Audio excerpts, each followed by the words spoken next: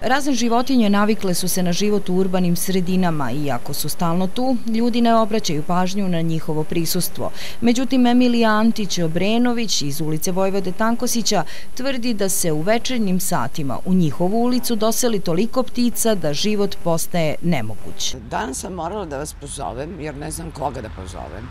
Danas mi se desilo da mi je jedna vrana bukvalno sletela na glavu. I to je bilo u letu da, da sam srećom dobila udarac, ali nemamo grebotine na temenu. Sada ih nema toliko, ali u zoru i uveče, to je strašno. Kaže da nije samo ona imala takvo iskustvo. A jednu gospođu, to je bilo pre nekoliko dana, prelazila je ulicu od Doma zdravlja.